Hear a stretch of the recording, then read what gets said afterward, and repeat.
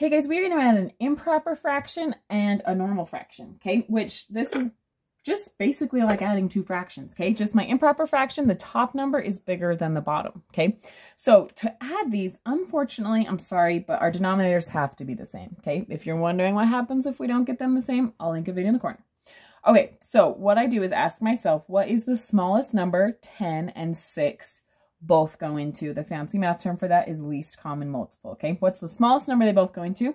And it is 30, okay? So what I want is two fractions with denominators of 30 that I'm going to add together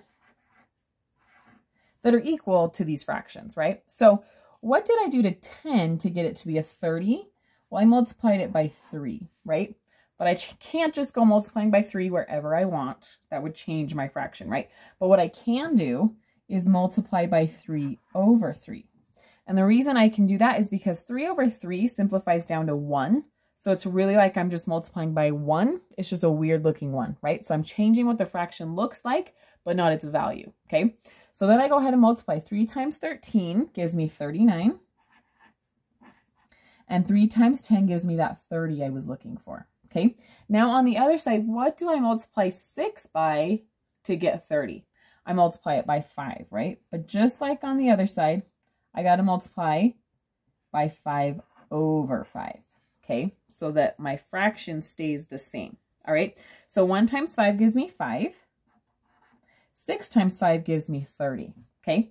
Now when I add these, my denominator stays the same, right? That's why we needed it to be the same. And then I add my numerator. So I get 39 plus 5, which gives me 44. Okay, now I want to simplify. Okay, so I notice both of these numbers are even. So I can divide the top and the bottom by 2.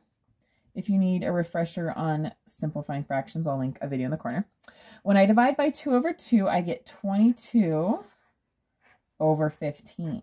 Okay, now that is my simplified answer, but we might also want to get it into a mixed number. Okay, that's when you have one big number and a fraction next to it. So to do that, I ask myself, how many times does 15 go into 22? Well, it just goes once, right? So that's my big number. 15 goes into 22 once, but it doesn't go evenly, right? How many are left over? Well, there's seven left over. That's my numerator. And my denominator stays the same, is 15. Okay? So, 13 tenths plus 1 sixth gives me 1 and 7 fifteenths. Hopefully that made sense. Thanks. Bye.